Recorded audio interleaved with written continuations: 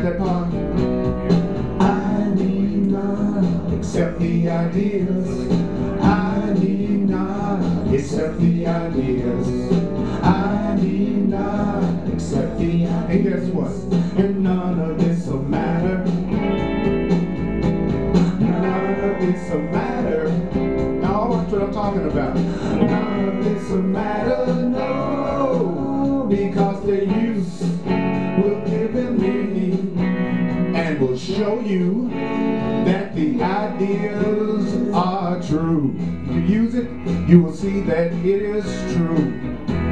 Take another breath, let it in one more time. I need not welcome the ideas.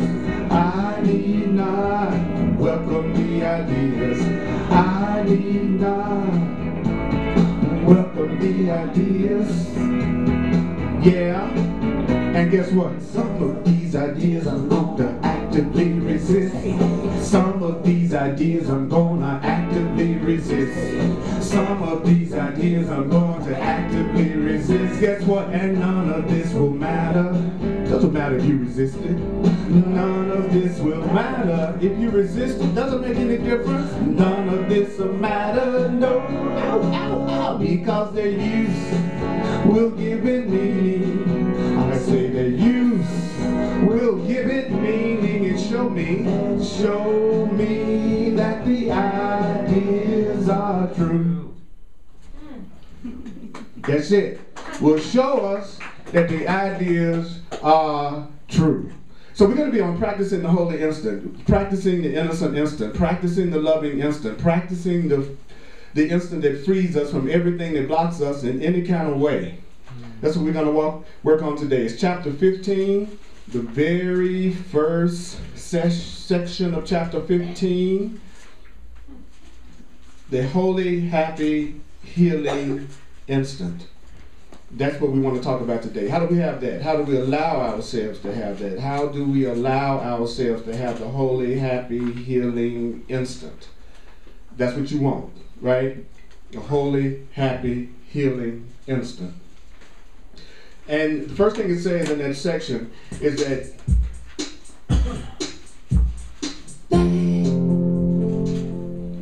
that this course is not beyond immediate learning. This course is not beyond immediate learning. This course is not beyond immediate learning. You can learn this course immediately. This course is not beyond immediate learning unless this course is not beyond immediate learning unless you believe that what God wills takes time. So if you believe that what God wills takes time, then anything that you want is beyond your immediate ability to experience it. If you believe that what the Creator wills takes time, then this course is beyond immediate learning. But what that means is you would rather delay the recognition that God's will is so. If I want to delay the recognition that the Creator's will is so, I will believe that it takes time to learn this immediately. So when we say the holy instant, we're talking about this instant and we're talking about every instant. Every instant is the holy instant. Every instant is the healing instant. Every instant is the instant that you could be, be experiencing love. Every instant is the instant that you could be experiencing love. Every instant is the instant that you could be experiencing peace. And the one you want it to be, that will be the one that it is. So the instant that you want to be a happy instant for you, that will be the instant that you have a happy instant for you.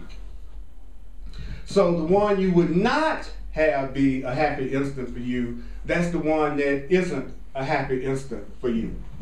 So if you're not having a happy, a happy instant right now, that's the one that you chose not to be the happy instant. And if you're having a happy instant right now, that's the one that you chose to have be a happy instant. So you must decide, you must decide when your happy instant is. Stop delaying it. It says delay it not. For beyond the past and future where you won't find it. You won't find your happiness in the past and you won't find your happiness in the future. You won't find your happiness in the past and you won't find your happiness in the future. You won't find your happiness in the past and you won't find your happy instant in the future. That's where you won't find it. Then beyond the past and future, which is right now, your happy instant stands in shimmering readiness for your acceptance. So your happiness is waiting in shimmering acceptance for you to accept it, yet you cannot bring it into your awareness as long as you don't want it. You can't bring it into your awareness as long as you don't want it. For in the happy instant, the holy instant holds the whole release from littleness. So all unhappiness is coming from our belief that we are little all of our unhappiness is coming from not recognizing our magnitude and our greatness. So the Course says, Your practice must therefore rest upon your willingness to let all littleness go. So I must practice letting all littleness go. You have to let go of any idea that you are little. You are not little. You are great. You are great. You are great. You are magnificent. You are grand. You have to let go of the idea that you are little. You are not little.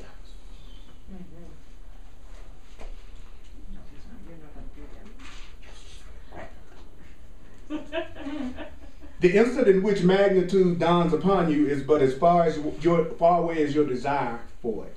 So what you want is as far away as your desire for it, which means that the instant in which you realize how great you are is but as far away as your desire to recognize mm-hmm. how great you are. Mm-hmm. As long as you don't desire to know how great you are, that means as long as you cherish thinking that you are little instead, that's how far it is away from you. Mm-hmm. So, by so much as you want to know your greatness right now, you bring your greatness nearer.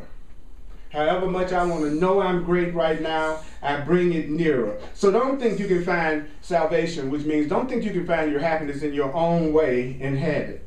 Hmm. don't think you can find your peace, your release, your healing in your own way and have it. Haven't you noticed? yeah. I mean, just check it in. Have you noticed that trying to do it your own way hasn't exactly brought you unlimited joy and abundance all the time? Uh, so give over every plan that you've made for your happiness in exchange for God's. Give over every plan you've made for your happiness in exchange for your Creator's plan for your happiness. Because you didn't create yourself. You didn't create yourself. You didn't create yourself. You didn't create yourself. You didn't create yourself. I didn't create myself. So it says, My Creator's will will content me. The, the will of your creator will content you, and nothing else can bring you peace except the will of that which created you, which is love, which created you, which knows that you are magnificent, and you are grand, and you are glorious, and you are powerful. And your awareness that you are is as far away from you as you choose to recognize it for yourself in any given moment, because in any given moment you can recognize your magnitude. Unless you believe that what God wills takes time, which would be the way a person was, would be thinking if they thought they were the ones that were supposed to give themselves their magnitude. Mm-hmm. So things take time when you are doing it. Things take no time when your creator's doing it. That's how you separate what you're doing on your own from that which created you. So if I hear that, what comes home to me then is the most important thing I should be working on is my relationship with my creator. I should be working on my relationship to that which created me. Since I want to be in line with that so that I can go ahead and not delay that wheel that makes me happy. mm.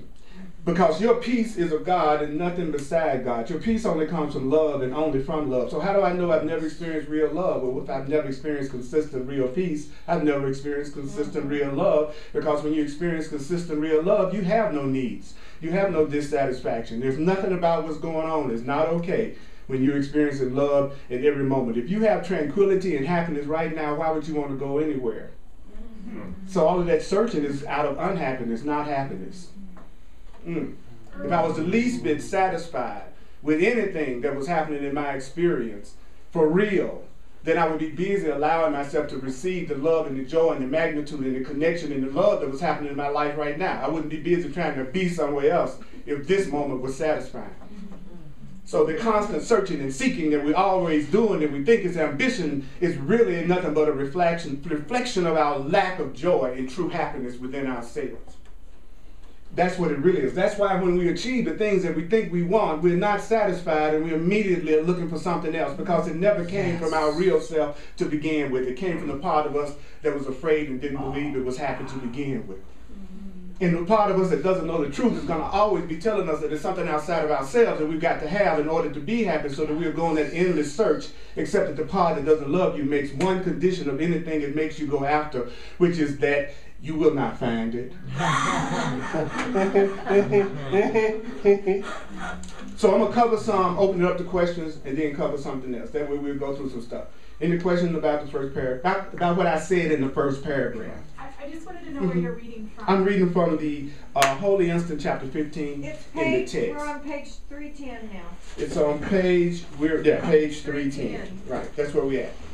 Can I just make a comment? Sure. Not be a question. Uh, I think of, you know, we all, it was kind of a little aha. Okay. That, that we all go through life, mm-hmm. and, and if we come here and we think, okay, we're unlimited, we're great, we're magnificent, we're all those things you tell us we are, we are. But there's a, is there not a responsibility that goes along with being great? I mean, like, I can't say that I'm great if I'm going to be petty and jealous and and angry. you could you could be great and petty and jealous and angry. I can. Yes. Oh, good. Yes. so you must be great. you see, no matter what I think about myself, I'm still Earl. What you really are is not affected by what you think you are. What you really are is not affected by what you believe you are. And since you didn't create yourself, you really can't define yourself. So you are not up to your own definition of you. So I don't have to act great. Well, the advantage of acting acting like you say you are is that it gives you an opportunity to live it in the world and demonstrate it and therefore get the reflection back oh, yeah, yeah, yeah. of that. Yeah. Mm-hmm. You know. Um, the problem is that we don't hear we're great enough to remind us of the truth about ourselves that's already there. Mm-hmm. So we come to classes and we study to just be reminded of what we already know but that we've forgotten. We're not here to learn something entirely new. We're here to remove the blocks to recognizing what we already know. So that's different from coming here trying to make up what you are as you go along. We've already are experiencing the result of our self-image, that which we made ourselves up to be. That's who you think you are today. It's what you've made yourself up to be in your own mind. And your life is a reflection of that idea. So if you're dissatisfied, you just see a reflection of your own self-image being mirrored back to you. Change your self-image, you will see a different image outside of you. Okay? But what I love about this paragraph is that it's saying to me the most important thing of all. It's telling me I can't find it in my own way and have it because if I don't think I'm great anyway and I don't know my magnitude anyway, I shouldn't be the one that's trying to prove it to myself. Mm. And another thing that it's telling me is I need to give over every plan that I've made. Now, people say, when you hear a statement like, I need to give over every plan that I've made, immediately the ego mind goes to all the different plans, like my plan to be on my own business, and my plan to be a successful doctor, or my plan, it's not talking about that it's talking about there there isn't but two plans. There's God's plan and then there's our plan. And our plan is this. If something were different, I'd be happy. If something outside of myself changed, I would be happy. He says that's our plan. Mm-hmm. Our plan is to always tell ourselves if someone else spoke or acted differently, if I was in another situation or circumstance, then I'd be saved and I'd be happy. And then we come up with the things that we think we need on the outside to allow us to do that. So when it talks about our plan, it's not talking about the specific form your plan is taking. Talking about it's talking about the underlying. On, I'm opening up the questions. Uh, it's talking about the underlying content of all our plans, which is something's wrong outside of myself that needs to be changed, and then I'll be happy. That's our plan. That's our so when the course says our plan, it's all the course in miracles is very simple and it'll drive you crazy. Because the course in miracles deals with the content and not the form. And we're dealing with the form and not the content. So the content is I have a plan that says if this were different, I'd be happy, I'd be saved. The course is telling me, no, you need to give over every plan but the plan of that which created you and that which loves you, because that which loves you and created you, only its plan will work. How do I know that my plan doesn't work? It hasn't. How else do I know my plan doesn't work? My plan takes time. So the fact that my plan takes time means that I'm the one that's creating it. Because nothing God wills takes time. Bam. So so that's that's really deep. That's really deep. Anybody else? Yes. So then, when I say I can't do something, it would be more accurate to say I'm not willing to do something, according to what to what. When you say you can't do something, it means that you're not. There's some things you can't do. Well, like like like when I tell myself I can't be unlimited, I I can't like blah blah blah. hmm I should say, or it would be more accurate to say I'm not willing. I'm not willing to see myself as unlimited. Yes. Yes. Because the only thing that the Course in Miracles is asking us to change, the only thing that the Course in Miracles is asking us to change, did I say the only thing that the Course in Miracles is asking us to change is our interpretation of our experience? It says that our perception is our interpretation. That perception is interpretation. So when you say you perceive something, you're just saying, I'm interpreting it. When you say you see something, you're only seeing what you learned. So everything we see is what we learn. You see me as a black man because you learned to see me as a black man. Had you learned to see me as a pink kangaroo, you would say it was a pink kangaroo up here teaching the class, and everybody would be in agreement because they all learned I was a pink kangaroo. So we don't realize that all we're seeing is the result of what we've learned. All we're seeing is, are we only seeing the meanings that we've given and have been given? And those meanings determine the way we feel about things. So it's very important that you learn to recognize that what you think is reality is nothing but your perceptions and your learnings that you've gotten since the day you were born. And if those perceptions and learnings were not based on what was true, then you're operating according to totally erroneous ideas. And if you're operating according to erroneous ideas, why wouldn't your life be unhappy? It's, that's, that's how you know you're not seeing anything correctly. You're too miserable. No unhappy person is seeing anything true or correct. I'm sorry. If you're unhappy, your perception is wrong. Mm-hmm. It just means you are using meanings and interpretations that you've learned that are not true about you. So it'd be more important to ask yourself, how can I reinforce the new interpretations about myself, the new perceptions about myself every day until I get to the point I'm seeing reflections of that, than to spend all your time arguing with what it's saying. You know what I'm saying? There's a difference between listening to somebody and trying to find flaws in what they're saying and listening to somebody and trying to listen to what's helpful to you in this moment. It's two different things. So we're being told that we are magnificent, but we don't know it because we're using our plan. Yes, my brother, you had your hand. Yes, sir. So you talk. So say for example, you were talking about um, somebody wants to have a business. Okay, so why do you want to have a business? I want to be a doctor. Why do you want to be a doctor? So it's it's intention. So do you want to be a doctor because you want everybody to see you and see how great you are? Or do you want to be a doctor because you sincerely want to help people and sincerely give back? Right, that, that determines the meaning and that determines the outcome. Uh, one of my favorite statements from the Course in Miracles is that purpose is meaning. Mhm. Like, if you want to know what the meaning of something is, it's the purpose of it. You know, if the purpose of this class is for me to be the presence of love and be a conduit for the love of God to come through me to you, then that's the meaning of what I'm doing today. So whatever your purpose is, that's the meaning of it. You don't have to wonder about the meaning of anything. What is your goal? That is your meaning. That is its meaning. Mm-hmm. Okay, so we're assuming that we're here because we want to remove the blocks to the awareness of the presence of love within us. Could we agree? Right. Okay, so that's the meaning. So that's the meaning of this class, mm-hmm. right? And so one of the things I want to do more and more as I go through the course is to let us hear more of it together.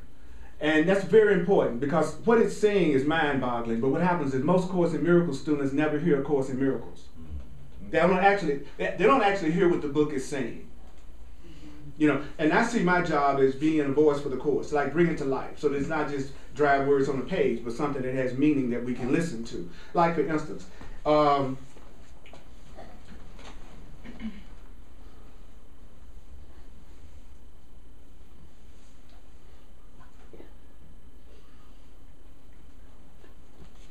go down to paragraph six, where it says the reason this course is simple is that the truth is simple. The reason why the course is simple is that the truth is simple. Complexity is of the ego. Complexity is of the fearful mind. The more afraid a person is, the more complex they make everything. And so the course says complexity is nothing more than the fearful minds. That's another term for the ego. Complexity is nothing more than the fearful mind's attempt to obscure the obvious. So when you have a fearful mind and you want to hide what's obvious, then you make it complex. If I'm not ready to change yet, I'll make it complex. Because in the complexity, I will not make the move because it's just too friggin' complex. If I keep it simple, then there's no excuse for me not doing it. If I can make it complex, then I can come up with a million reasons not to do it. So you could live forever in the happy, holy, loving instant, beginning right now and reaching to eternity, but for a very simple reason. And don't hide the simplicity of this reason, because if you had the simplicity of this reason, it will only be because you prefer not to recognize the reason and not to let it go. Uh, the simple reason, simply stated, is this: the holy instant, the happy instant, the healing instant is a time in which you receive and give perfect communication. The healing instant is the time in which you give complete communication and you receive complete communication. You heal when you give complete communication and you receive complete communication. You become happy. Think about how good it feels to be in the presence of someone that you don't have to hide your thoughts. Mm-hmm. And you can communicate anything. This means, however, that it's a time in which your mind is open. So if I'm going to if I'm going to give communication and receive communication, then it's a time in which my mind is open. What does it mean? My mind is open to give, my mind is open to receive. It's a recognition that all minds are joined, all minds are in communication, and so therefore I'm not going to try to change anything. I'm going to try to accept everything. So if I'm really practicing real communication, I'm allowing you to communicate anything you feel like you need to communicate, even if it's not what I particularly want to hear. I'm going to have an open mind. I realize our minds are joined. I'm going to accept everything. And the Course in Miracles then says, How can you do this? How can you really have open communication when you would prefer to have private thoughts? And keep your private thoughts? Mm-hmm. How am I going to have open communication with you and private thoughts with you at the same time? Mm-hmm. But I tell you this too people around you are going to keep having private thoughts with you as long as you attack them for their thoughts mm-hmm. with you. So if I'm gonna give you honest and open, you want these people saying, "Be honest, be honest, tell me everything, tell me everything, don't hide nothing." Then every time I do, you act a fool. I'm not going to tell you everything. I don't give a damn what this book says. I don't need the grief. So it's amazing to me how much people attack people who tell them the truth and then appall when the person doesn't want to have tell them what's going on. Why would they? If you're to just attack them, why would they want to tell you anything? Unless they're crazy. so don't expect open communication from people you attack. Don't expect open communication from people you project on if they communicate with you. If you find yourself reacting to what someone is saying, just breathe and ask for another way to look at it or say, hold it. Right now, uh, I can tell by the way I'm feeling fact that I want to take this chair and beat you to death that there's a possibility I'm misperceiving what you're saying. So maybe we need to talk about this later, after I've had a chance to re-perceive. You follow what I'm saying? Okay. So uh, the only way you could do that would be to deny the perfect communication that makes the holy, happy, healing instant what it is. You believe you can harbor thoughts that you wouldn't share. All of us believe that right now we can have thoughts that we don't give each other. And that our happiness lies in keeping thoughts to ourselves alone. Sometimes it seems like I'm happier if I don't tell people what I think. I don't know about you. Sometimes it just seems like it's a lot easier if I just don't tell people what I think. And these are so I have private thoughts. Now, what are private thoughts? Private thoughts are thoughts that that are known only to me. That's what private thoughts are. So that means that you think you can find a way to keep what you would have alone and share what you want to share. So what I do is I keep some thoughts to myself and I share some thoughts. I think I can harbor some private thoughts and I think I can share some thoughts. And it says, and then you wonder why it is that you're not in full communication with everybody around you. See, everything on the outer reflects the inner. I have private thoughts, I have thoughts that I share, and so then I wonder why I'm not in full communication with all of you. Well, you all are doing the same thing that I'm doing. We're the same. You have thoughts that you give and you have thoughts that you keep to yourself. I have thoughts that I give and I have thoughts that I keep to myself. That's why we're in each other's reality because we are the same. Right? So it says we also are not in full communication with our Creator who surrounds all of us. So as long as I have private thoughts, I'll never know completely what's going on around me because I won't create a reality that's as open to me as I am to it until I'm fully open to it. Do are we beginning to get that if this reality in our physical reality is always a reflection of our own consciousness, a reflection of our own mind, a reflection of our own thinking, which is the number one rule of metaphysical reality is that your thoughts are creating your reality then if I'm not a person who's completely open, I would not attract people who are completely open. If I have private thoughts, then you're going to have private thoughts. And if I have open thoughts, then you're going to have open thoughts. So we are, are all just alike. I doubt if anyone in here would say to me that they share all their thoughts with everyone honestly and openly in an uncensored way, unless you just want to say something nobody in the class believes. But, you, but you're welcome to say it. But nobody is going to believe it. Okay, but that's all right. You're cute and you're innocent. You know what I'm saying? So now I don't have to be upset because you're not in full communication with me because I'm not in full communication with you. So why would I condemn you for something that I'm doing myself? Like the person that's condemning the other person for not being open and honest are you consistently 100% open and honest about every freaking thing you do? No. But that's how projection works. We see our own qualities as being in someone else instead of understanding that it's a reflection of our own mind. So what you get upset with me about is most true about you. Okay? So every thought you would keep hidden shuts communication off because you want communication shut off. How do I know I want communication shut off? Because I'm shutting off communication. Sometimes I don't talk to people because I don't want to hear what they got to say. And if I know I say something, that'll be encouraging them to talk. Amen. You know what I'm talking about? Some people you just know y'all so different in the way that you perceive things that you just rather not engage them and hear what their thoughts are. They're innocent, but you just don't want to hear it. Well, if you say something, they're going to probably say something back. so you might want to keep in mind if you don't want to hear something somebody's got to say, just don't say nothing. But what happens? When people are around people who they least agree with, that's when they tend to talk the most. And so they end up hearing a lot of thoughts that they don't even really want to hear. Because you have to understand, it doesn't matter if anybody else believes what you believe or agree with what you agree what you believe. It's okay. You can have your own way of looking at things that nobody else has to validate in order for you to be okay with it. You don't need other people's validation to be okay. As a matter of fact, there's a there's a stage of the spiritual journey where you seem to get a lot of validation by being around people who support your ideas because they think that way themselves. That's a stage. But there's also a stage in spiritual evolution that is you having to stick to your beliefs regardless of what the people around you believe. You go through a stage of learning how to trust yourself without needing outer validation. Some of you may be going through that right now, where it seems like everybody around you thinks differently from you, but you know you've got to go with what your heart is telling you regardless of what anybody else is saying. That's the stage of you don't need the validation of someone else in order for you to do the thing that's best for you, but you do need to be in touch with your higher power, mm-hmm. especially at that time.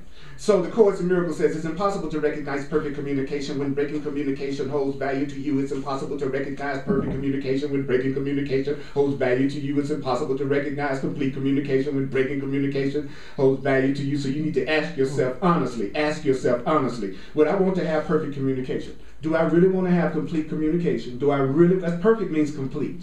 So do I really want to have complete communication and am I wholly willing to let everything that interferes with complete communication go forever? Mm-hmm. I said it again. That's a powerful question. Would I want to have perfect communication? Would it, okay, everybody say yes. I want to have perfect communication. He says, well, if you really want to have perfect communication, you have to ask yourself, am I willing to let go of everything that interferes with it? Am I willing to let go of everything that keeps me from joining with you and really communicating with you? Am I willing to let go of everything that keeps us from having complete communication? Well, it's not but one thing I really need to let go of to keep us, to, to allow us to have perfect communication. All I have to do is let go of my desire to attack you. Because if I don't attack you and you feel safe, what you're going to do is tell me more and more and more and more and more. And the more aware I am, the safer I am. So I want people around me to tell me everything that they're thinking and feeling so that I know the best way to be with them in a loving way. See, I'm listening to people always in terms of how can I join? How can I connect in a peaceful way? Where I used to listen more in terms of what can I get? Mm. Now it's how can I join? So the Course in Miracles then says if the answer is no, that you're not willing to let go of everything that keeps you from having real communication, he says then the Holy Spirit's readiness to give you complete communication is not enough to make it yours. Because we need to also understand that what, what this is talking about is not just you talking to another person, it's really talking about you talking to your higher power, your connection with your higher self.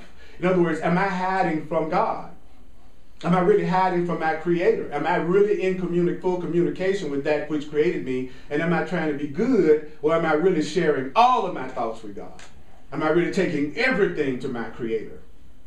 And so the Course in Miracles says, well, your creator is ready to give you perfect communication, but if you're not willing to learn how to let go of everything that blocks the communication, then it, then it, then it won't, then no matter how much spirit wants you to have something, it will not be enough to make it yours if you're not willing to do what's necessary to remove the block.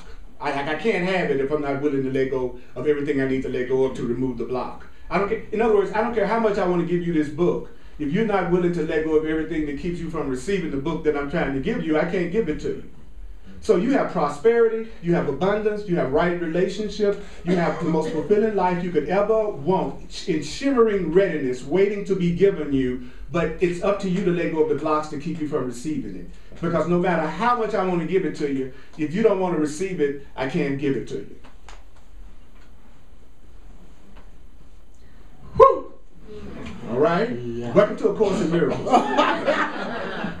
Okay? And it cannot come, I love it, it says, it's not enough to make it yours because you're not ready to share it with the Holy Spirit. So if I'm not ready to share it with you, that's not enough to make it mine. So I have to be willing to share communication with you as I, if I want communication from you. I have to be willing to give it to you if I really want it from you. Now, one of the reasons why people do not communicate with other people sometimes it's not about them being afraid of the other person's reaction. It's why they won't say anything. It's that they're not ready for the honesty that's going to meet them back. Mm-hmm. Like a lot of times we won't say something because we're not ready to hear what the other person got to say back to us. And if I tell you honestly how I feel, then anything you've been hiding, you're gonna say, well, then now that you speak of it, I think I'm gonna talk to you about some things I've been meaning to tell you too. if we're gonna get real, let's come on with it. So a lot of times you won't say tell people stuff because you're not ready to take what they're about to tell you back. So then, uh, you know, so if you're afraid to hear what they got to say, then you're certainly not going to be honest with them. That's why when someone's at the point that they're ready to let you go in a relationship, they'll tell you everything they've been holding back all the time they were with you. I've had relationships end in my life. The person said, "Well, now, well, I just, I didn't really like that class, no way."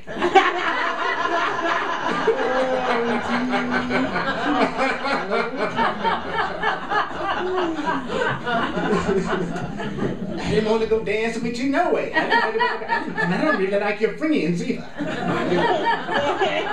the person didn't have nothing to lose. As soon as you don't have anything to lose, you'll tell the truth about everything that's going on with you. As long as you need the person, then you'll, you'll be tempted to not be honest with them because of your need. But the, so the more you're centered in your relationship with your creator and you know you only need your creator and you're going to be all right as long as you connect it with your creator, you'll tell everybody around you as honestly as you can everything that's going on in, with you because you have nothing to lose. Hmm. You know, but it's hard to tell somebody who's taking care of you what you think. If you think if you tell them they're going to stop taking care of you. So as long as a person is in a position where you think you need them in order for you to be really centered and okay, it's going to be very difficult to be honest with them.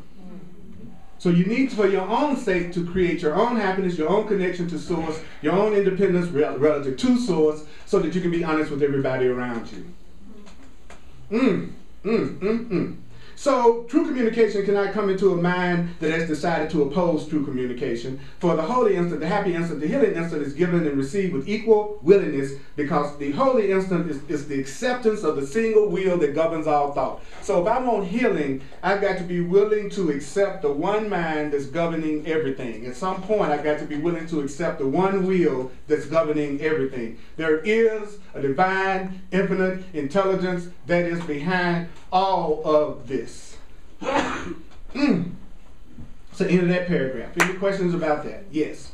Is there a difference between true communication and silly, superfluous, dumb communication? Because I was with a friend and I felt like I was communicating something, and she stopped me and said, "Well, that's irrelevant. You know, this is what's important." So, I, I, you know, after thinking about it, I'm like, well, you know, she has a point.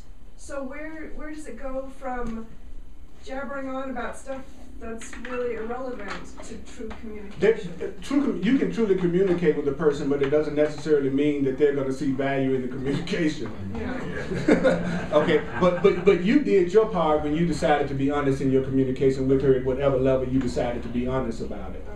You follow what I'm saying? See, one of the biggest errors that we make is that we somehow attempted to want people to respond to whatever it is we're sharing in a certain way. So I'm giving you this gift of communication, but I've also got some conditions about how I think you need to be receiving it. And that you should value it, and that you should like it. But that, that's not what he's talking about. He's talking about, I'm just not having private thoughts with you about what's really going on right now. And then it's up to you to give it whatever meaning you want to give it. But I'm going to tell you what I really feel in my heart that needs to be said right now. So we, so again, we can't be really honest until we let go of the conditions on how the other person should receive what we're saying. Yeah, because now I'm feeling like, oh, I hmm. can't go there because she's not going to receive that. So now I have to block that part of it off, which is okay. It's no big deal, but.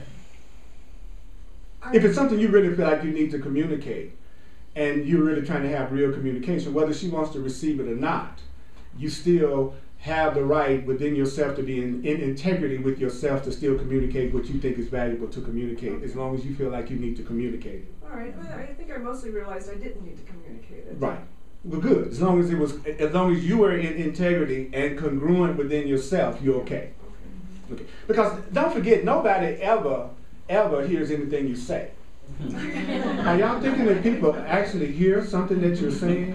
Are you really thinking that people are actually hearing something that you're saying? No, they're only hearing their interpretation of what you're saying. They're only hearing the meaning that they're giving to you. It's you talking to me, my interpretation of it, and then my response to my interpretation. There's not direct communication between us. There's just you saying something, me interpreting it according to my past learning, and then me reacting to my past learning. You listening to me, you interpreting what I'm saying, and then you're responding to your interpretation. So we're really talking to ourselves pretty much 100% of the time, all the time, anyway. So that's why it's so important for you to only share what has meaning to you, because you're the one that's hearing what you're saying, so you want to make sure you're saying something that you want to hear. Because they're not hearing you anyway.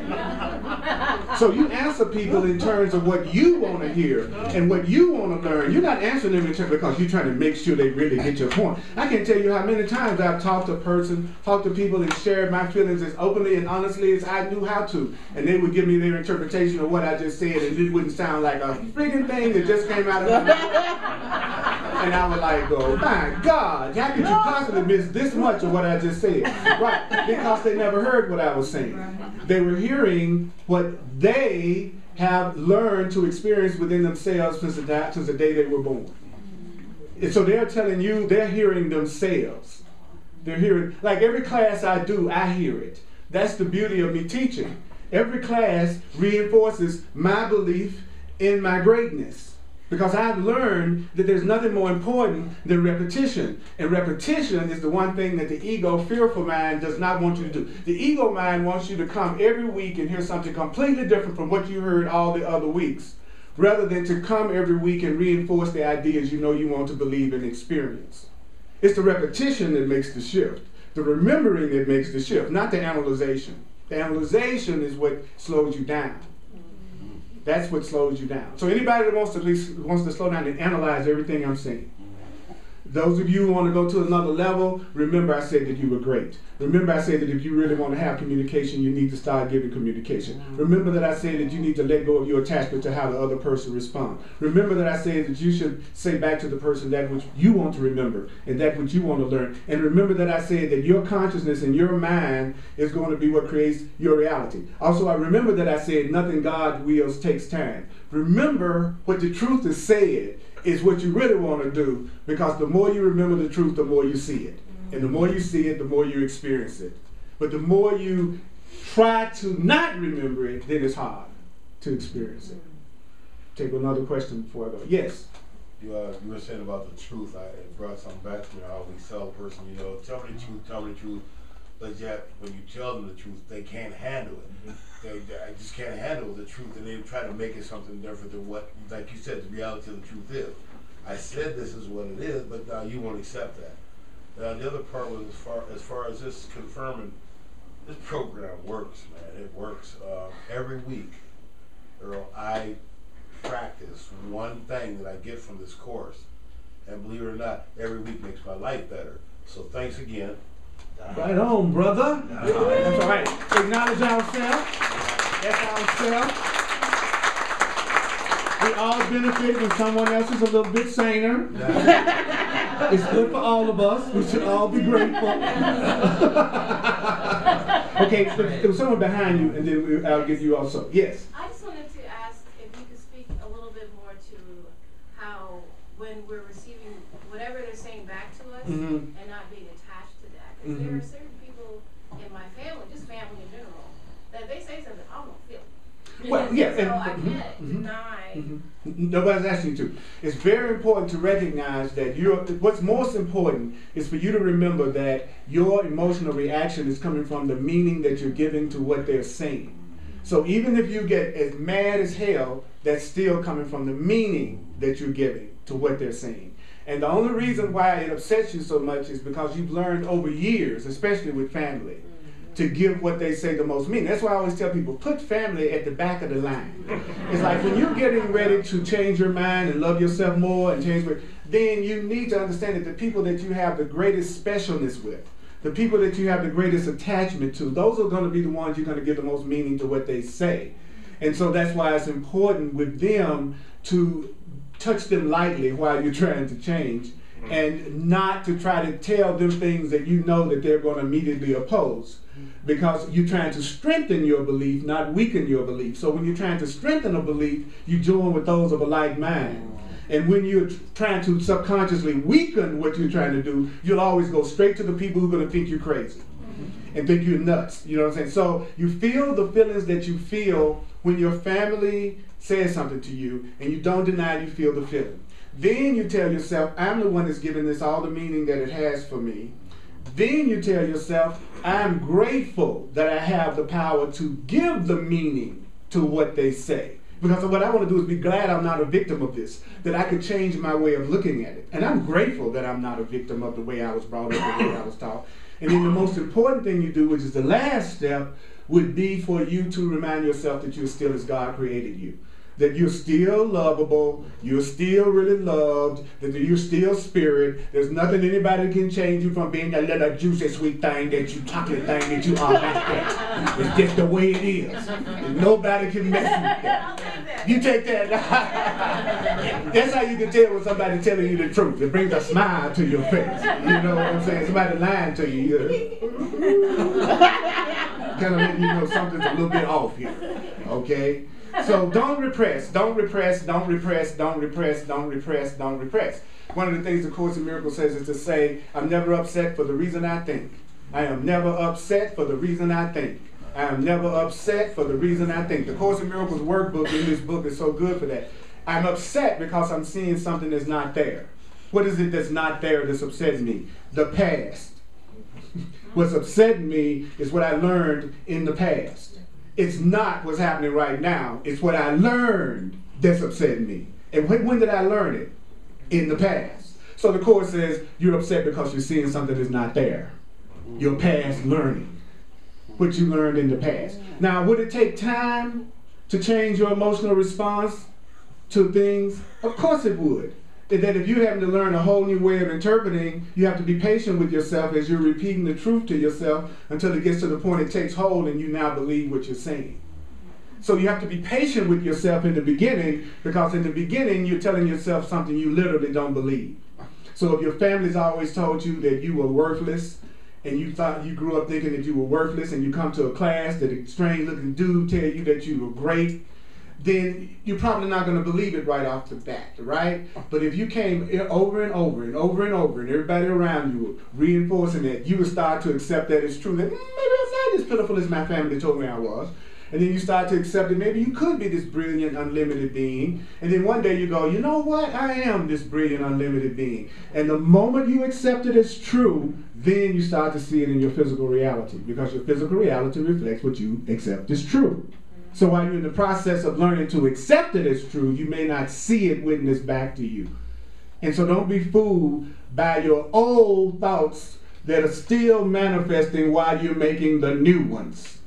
So don't compare your present reality with the reality that you are intended to create for yourself. So if you say today, I want to recognize my abundance, and right now it looks like you have no money, you're just looking at the result of your previous ideas about yourself. And that's what's in your bank account. Your past ideas about yourself and the actions that were based on those ideas.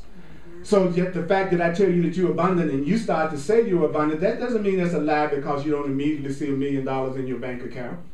It just means that the same process that created that lack, which was you telling yourself something other than you're abundant, that new belief will begin to take root as much as the old one did if you repeat it. Mm. Now, here's the difference though with telling yourself something that's the truth. If you tell yourself something that's the truth, then you got the whole universe backing you up. So it doesn't take as long to see a truth manifest as it does to see a lie you've been telling yourself manifest. Because the things you do by yourself that have nothing to do with the truth are the things you do on your own. So if I want to be miserable, the universe is not really helping me be miserable. If I want to be miserable, it's not helping me at all. So I have to work really hard to stay miserable. I have to make sure I never go out with the right person. I have to make sure I always go for the job that I know I really don't want. that I'm just doing it because right now I'm afraid. You see what I'm saying? You know, if I'm determined to be miserable, I got to go out of my way to ignore all the help that's coming my way. So I gotta not be around the people who would acknowledge me. I have to spend all my time around the people who criticize me. If he tells me that if I'm a joyful person, I will attract joy, then I'm going to be the most depressed person in the room. Because that way I won't attract anybody witnessing back to me how wonderful I am. Because people tend not to come up to a person with a sourpuss face. they don't. They don't. Do they? Then some people tend to be attracted to people who seem like they have real issues because they're the caretakers. Mm-hmm. And the caretakers, they get their sense of self-esteem from feeling like they're fixing everybody around them. That's how they feel like they're worthwhile, which is still totally ego. Mm-hmm. You know, you can always tell them because they're always sacrificing for somebody else. Those are the caretakers. they think they're putting everybody else's needs before theirs, mm-hmm. and then just building resentment. you know. So, are you a caretaker? Are you always attracted to the person that always needs help? mm, so let's go to the next one. Okay? Oh, yeah, you had a question. Yeah, um, yeah Carol, what's your question? So, the thing about, like, no one hears you.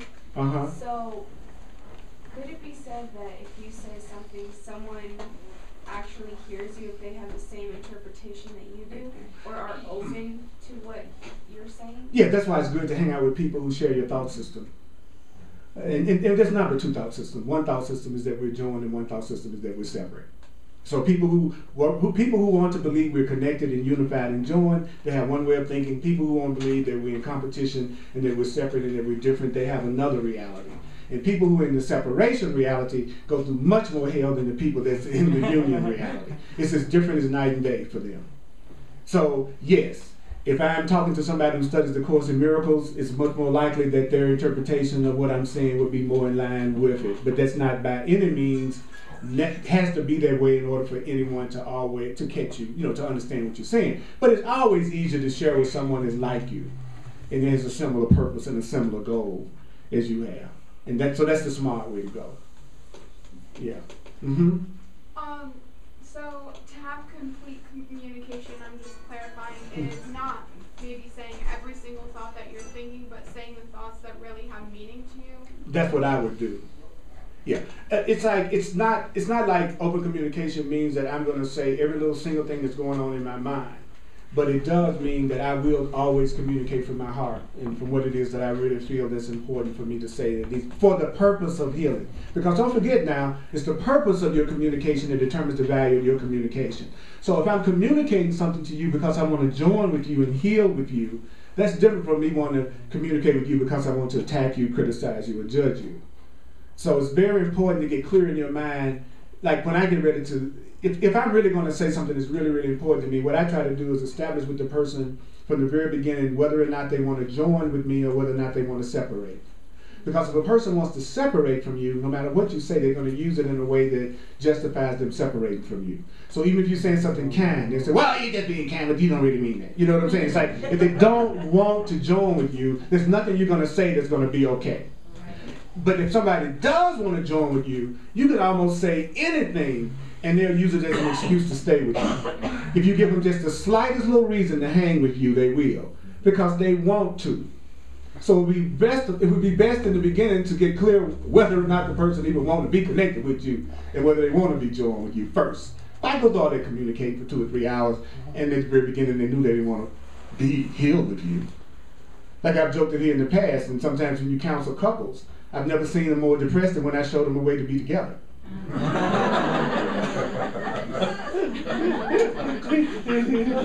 they were coming because they wanted to say they went through the steps that was necessary, but it just didn't work out. They didn't come because they really wanted to. I wanted to really be with him. you gave me some ways to be with him. I'll be completely and completely uh, depressed now. So it would be great to be clear that the person he wanted to connect with you and then work with it from that standpoint. All right? Okay, let's go a little bit further. All right.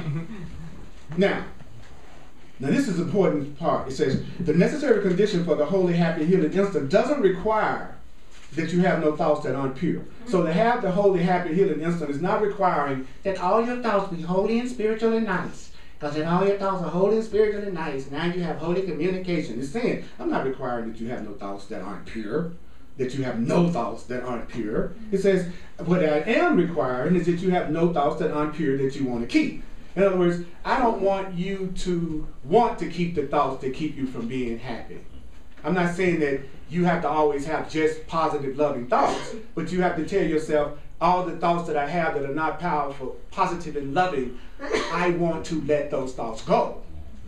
And it says, innocence is not of your making innocence is giving you the instant you would have innocence. Now, innocence is really important. I want you to hear this. This is very important. Most of us, when we came into this world, we were taught we were guilty and sinful in some way. That there was something about us that was lacking. That this society, this, this dream, as the Course calls it, is based on the idea of guilt and sin. Like there's something wrong with you. There's something lacking in you, and you need to spend the rest of your life fixing yourself and atoning. So a person who believes they're guilty is a person who believes they deserve to be punished. Because we punish guilty people in the physical illusionary world. Okay, so if you're a person walking around feeling guilty all the time, no matter how justified you think that is because you think good people feel guilty, you're telling the universe, punish me, punish me, punish me, punish me, punish me, punish me, punish me, punish me. Then you're shocked when your car breaks down, you're shocked when you get laid off, you're shocked when your relationship tanks, you're shocked when you get sick. And you don't realize you're asking the universe to punish you all day long by feeling guilty and unworthy. So when someone, you, you, I don't know about you, but I landed in the world, and the first thing I heard through my religion was that I was born in sin, and that I was guilty, and that the Son of God died for me because of something that, that happened 2,000 years before I was even born. Now, how's that for guilt? All right? And so that's a lot of guilt to put on a kid. You know, to say, you know, that's the son of God and the child of God was tortured and killed because of me. Mm-hmm. Okay, so I'm sinful and I'm guilty. So when you get a belief like that, then you start to create a reality that reflects that belief back to you.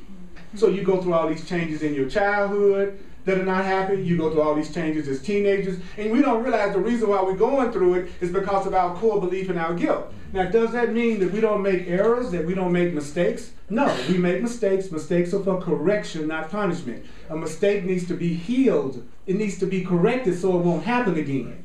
Sending people to prison and then allowing them to be abused even more does not make for a person that wants to love people when they walk out.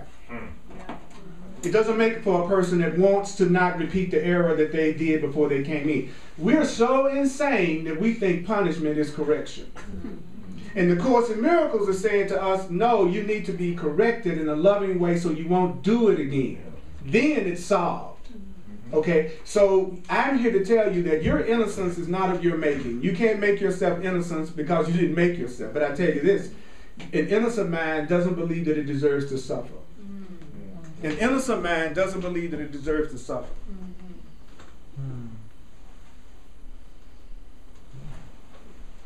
So why do you want to recognize your innocence? Because if you recognize your innocence more and more, you won't think you deserve to suffer more and more. And unless you think you deserve to suffer, unless you will create painful situations for yourself. so it says your innocence is given you the instant you want to have it. You can't make it, but it, it can be given to you as soon as you want it. You can't make it, but it can be given to you as soon as you want it. And the atonement, your healing, the need for your healing, he says, would not be if there were no need for it. You won't be able to accept perfect communication as long as you want to hide it from yourself. So here's another third fact I want to share with you. Don't lie to you. See, I had to watch myself. I got to the point with the positive thinking thing that I wouldn't even admit to myself when I was angry, upset, and afraid. I would tell myself I felt good when I didn't. You ever done that? Mm-hmm. Not even told the truth to yourself? So as long as you would have perfect communication from yourself, others will have perfect communication from you. He says, and what you would hide is hidden from you. Whatever you hide is hidden from you. So, so if I hide my love for myself, and I hide my love for you, it'll look like your love for me is hidden from me, and I'll walk in the world and say, Nobody loves me. And the reason why I say no one loves me is because your love is hidden from me because I'm hiding my love from you.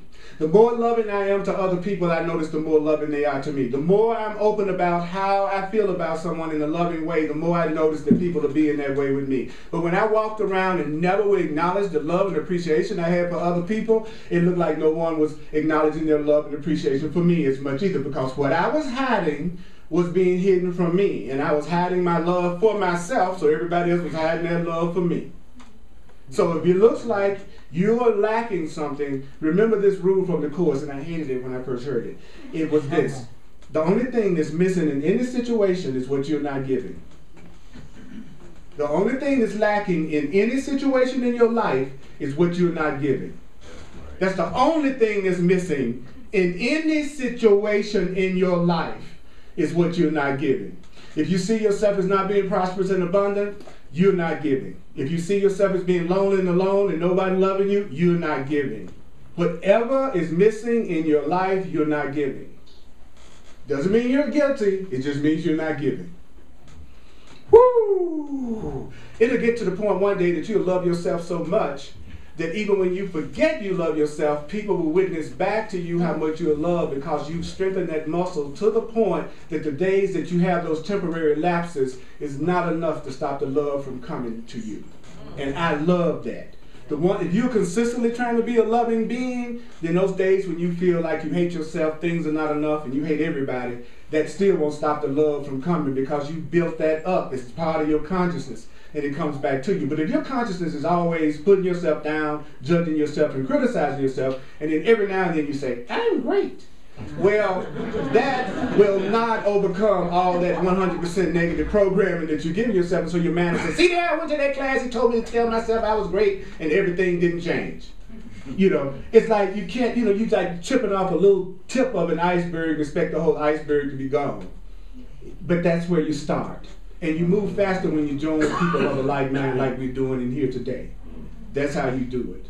Because you are unbelievably powerful, unbelievably great. And then to this week say, I'm going to give the communication I want to receive. And then pay attention to how you feel before you communicate. And if you know before you get ready to communicate, you're full of a lot of fear, it would be best to wait until you don't have a lot of fear. Because if you're communicating with a lot of fear, there's a possibility you're going to create a negative reaction to what you're seeing. So you want to pay attention to how you feel before you communicate as much as paying attention to what you communicate. So you want to try to come from a peaceful place to begin with because that won't create defensiveness in the other person. And if they do respond, don't interrupt them while they're responding. Let them get every bit of their response out without you interfering. Now, if you feel defensive, you're going to jump in and try to stop them. So don't do that. If you can, let them get it all out. And I'll tell you why. Usually on the other side of whatever it is they need to vent is the sanity that you were hoping for at the very beginning of the conversation. But you got to let them get their ego out before you get to the spirit. And what we do most cases, as soon as they say something, our own defensiveness and guilt make us jump in and try to correct what they said. Stop them in the middle of their sharing. You never get past the separation between you. So it takes courage, and it takes strength, and it takes willingness to let people say what they got to say, and you breathe while they're saying it. And then, if possible, say, This is what I heard you say. Correct me, but this is what I think I heard you say. Then you say back to them what you think they said to you and then you ask them, is it okay now if you share the way you're seeing it and the way that you're feeling? Just little simple things like that make all the difference in the world. I hope I'm wrong about this, but I had the feeling when you said that last night that you really said, you know, you were really saying this over here. Now, I hope I'm wrong about my interpretation of that because I'm making myself feel a lot of upset about this. So, so could you give me another way of looking at that? That's going to get a different reaction from a person than, I guarantee you. And so let's go for some perfect communication because that's what we deserve. Could you give it to yourself, holy God? Give it up again. You let yourself hear some truth. I'm telling you. Lord have mercy. I love you all so much. Let's do the financial expression of appreciation right now. Thank you for sharing with me in my full-time ministry with the Course in Miracles. Those of you online, thank you so much for sharing with me. And if you would like to make a financial expression of appreciation online, please go to earlpurdy.com and you can make a, a financial expression of appreciation there. Uh, getting a lot of good energy from people for one-on-ones. If you want to have a one-on-one session with me, go to my website and read uh, about the clarity sessions that I do. And so it's very important to let yourself be supported in what you're doing. So I use astrology and numerology as well as the Course in Miracles. I use intuitive and psychic guidance as well as regular guidance from the Holy Spirit. So it's available if you want it. If you're tired of being stuck in some way and you want it differently, this is the perfect time for you to do it. So that would be great. And uh, go to my website and sign up for my contact list or do it up here so that we can you can receive a link because I send links out to all of these classes every week so you get a chance to listen back to it at home. Ah. Any of y'all ever listen to the classes again? Yes. Okay, just checking. Just checking. Just checking. So I'm going to do a review. I'm going to go through it again. I want you to hear this, to hear to have perfect communication? Would I want to have perfect communication? Would I want to have perfect communication? Would I want to have perfect communication? Would I want to have perfect communication? Am I totally willing to let everything that interferes with perfect communication go? Are you willing to let go of everything that keeps you from having perfect communication? Remember, you are not responsible for another person's reaction to what you say. You are not responsible for another person's reaction to what you say. You want to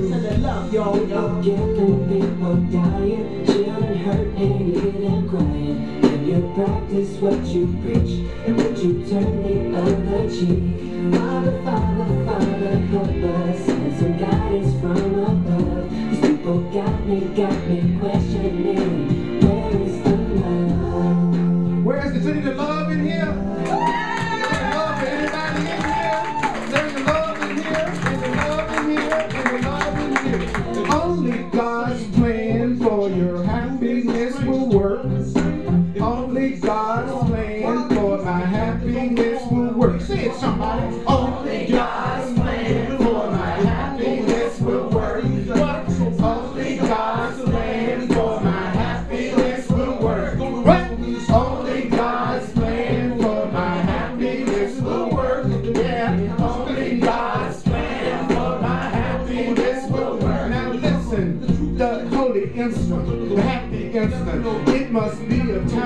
You wanna let go of your private thoughts. You wanna let go of your private thoughts.